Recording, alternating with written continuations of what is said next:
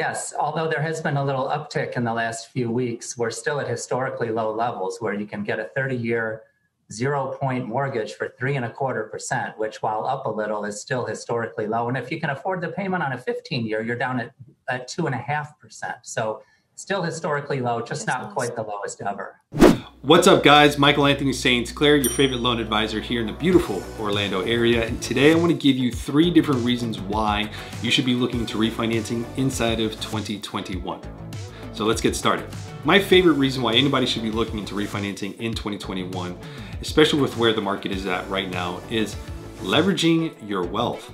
We all understand that a mortgage is debt and the name of the game is to get out of that mortgage debt. But what about the other debts that you may have or potentially may be wanting to involve yourself in, such as personal loans or maybe auto loans or maybe even credit cards?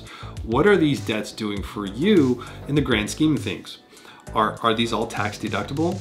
Are these other debts accruing interest or at least appreciating to where you could borrow off of them more? And if the answer is no to any of those, then we would consider those to be doodahs. So in this market where rates are you know relatively low and programs are more uh, lax, if you will, we'll touch more on that in a little bit, this is the perfect time to take advantage of cheap money, if you will, cheap mortgage rates. Consolidate some of those debts that you may have or ultimately paying them off altogether is gonna help you leverage your wealth, leverage your debt, and put you in a better place in the future. Now, my second favorite reason why anybody should be looking into refinancing inside 2021, it's cash flow. Who doesn't like cash? Don't answer that. but in all seriousness, cash flow is really where a lot of us are at. Homeowners and maybe even people that are looking into uh, purchasing for the first time, they're looking to find ways to have more cash flow. And ultimately, refinancing is going to create that type of environment for you. And here's what I mean by that. Let's say you have an existing mortgage at a 30 year note and it's at a 4%.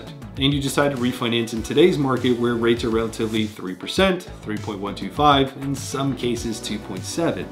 Now, that monthly savings may not be a huge number. Let's say you save about 150 bucks per month and you know, to, to most people that's like, oh, that's that's not a lot of savings. Or I, I get the what about my closing costs? Is it gonna make any sense for me to refinance with all my closing costs? And here's, here's what I mean by this, folks, is that increased cash flow allows you to write your own term.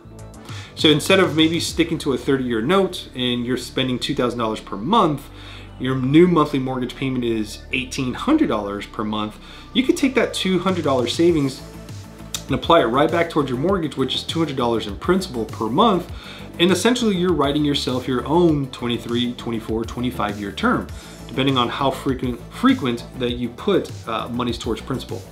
The name of the game for that, as far as cash flow is, you're not changing a beat of how much you're spending per month. However, you're reallocating those funds to lead back up to number one, leverage your wealth. And my third reason why anybody would want to look into refinancing inside of the year of 2021, it's rates.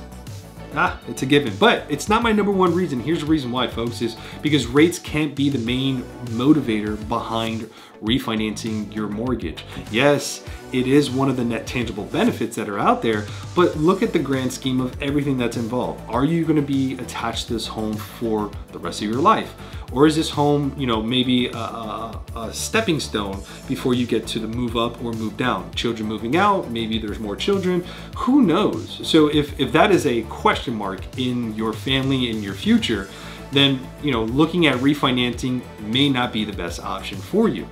Simply because the costs that are associated with it, by the time you recover that cost, and plus paying costs again if you sell your home, that's where you really got to weigh your options as far as does this make sense for me and my family. That's why I was mentioning interest rate can't be the main motivator behind the whole purpose of refinancing. Now, coupled with that, I mentioned that some programs is going to be one of the reasons why people look into refinancing. And what I mean by that is uh, there's a program called a, a HELOC, right? A piggyback HELOC. So essentially you have a first mortgage and then you're creating a second mortgage, which is a HELOC known as a home equity line of credit, uh, right behind that first. So it's a piggyback, bing, bing, bing. And so uh, that program went away for a little while. Uh, when co, well, you know who, can't say that. We do not speak speak his name. Uh, but when you know who hit us about a year ago, some of those programs went away, which kind of created a, a little of a pinch for individuals that wanted to tap into the equity of their home without doing a full-blown refinance on their first. So now the fact that those programs are back, they're more lax again, there's availability as far as money is cheap in the market, this is a beautiful time to take advantage of that type of uh, uh, refinance, or at least that strategy. And again, this is all tied to where you're gonna be with this home, because if you plan on moving in the next two, three years, then no, a home equity line of credit strategy doesn't make a whole lot of sense. But if you are looking into keeping the home, retaining the home for five plus years, then yeah, it would make perfect sense. A tool that you can actually tap into the equity of your home without ever having to do a constant refinance all the time. Uh, if you guys want to know more information about how home equity line of credits work in relationship to a refinance and or a purchase, just leave the comments down below. I want to give you guys as much information as possible. This way you can make informed decisions and help you get to a better place. Uh, outside of that, I appreciate you guys watching for this long. If you got any value, please leave me a thumbs up. It truly helps the channel altogether. And again, if you have any questions about mortgage scenarios or things that are related to the three reasons that I mentioned before, leave it in the comments section. Have a great weekend. I'll see you guys real soon. Bye now.